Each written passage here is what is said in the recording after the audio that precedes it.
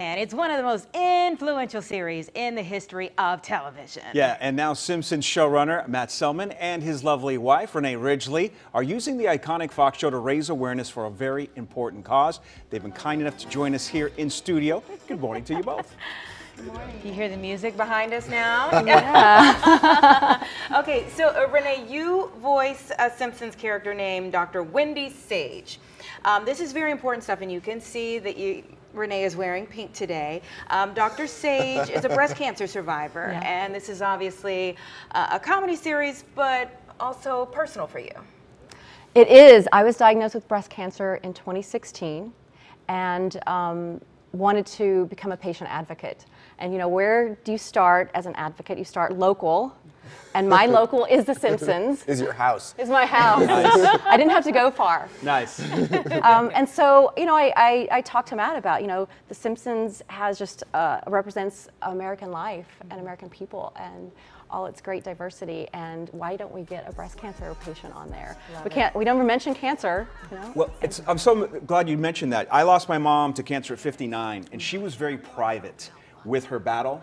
Not a lot of people outside the family knew about it you've taken your um, your life experience and and right behind you we can see it uh, in this artist rendering of your character.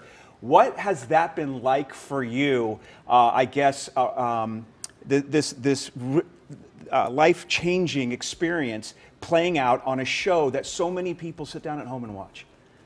Well, Sean, it's really amazing to see it ripple through the community. I mean, just uh, just last week, a woman was watching. It's it's from the episode Lisa's Belly, and then the new one coming up is um, The King of Nice this Sunday on Fox. Right, and we get people reaching out to us on social media saying, "I see myself in that mm. character. Mm-hmm. You know, about half of the women who have treatment with mastectomy go flat, and in the past, people tried to hide that. Yeah. And in uh, modern day body positivity, they just embrace it. So this character really represents like, you know, she has one breast and she has, she's flat on the other side. Right. She has a port scar from her chemo mm-hmm. and she doesn't try to hide that either. Right.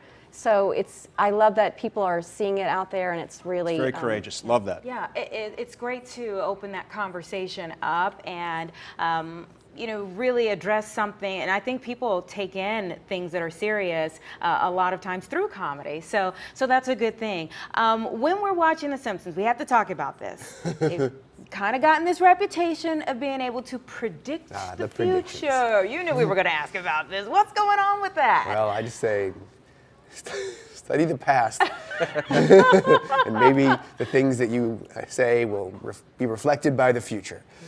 So study the past, everyone. But uh, also, if you have 750 episodes of a TV show, Amazing. you're going to make a few crazy predictions.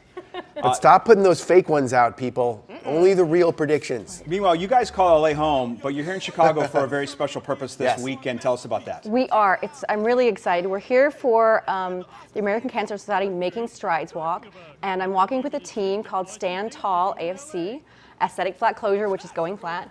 And um, there's a long weekend retreat with Flat Retreat Community. So it's a lot of women who've had treatment and are, are living um, with less than two breasts proudly, happily. And so we're here for that. Yeah. Uh, what do they say about what you've been doing with The Simpsons?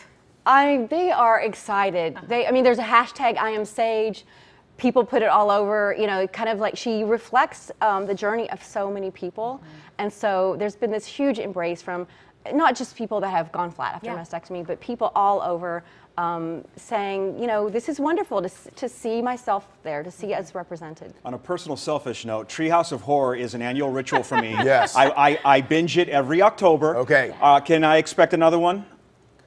Two this year. Two? Two. Yeah. yeah. I love we have it. a full length one on the 23rd. Okay. And then the classic three stories on the love 30th, that. the day before actual ah, Halloween. Fantastic. So this is our most spooky, scary. Love it.